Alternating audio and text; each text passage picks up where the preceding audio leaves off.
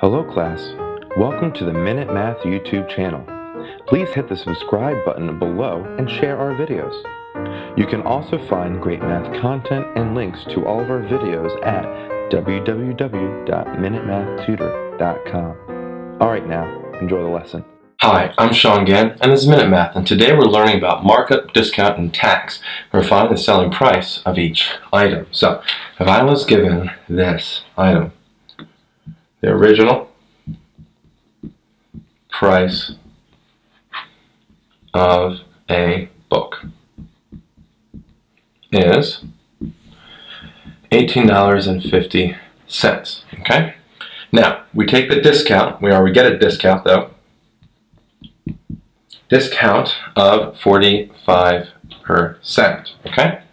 So 45% discount, right? If we want to find what percent of the total book we're actually going to pay, we take 100% minus 45%, and we get a good old 55%.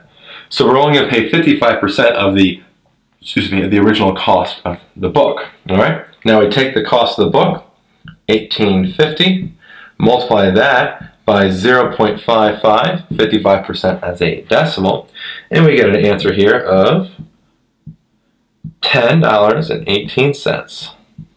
Alright? So quick recap. We're given the original price of the book is $18.50 and its discount is 45%.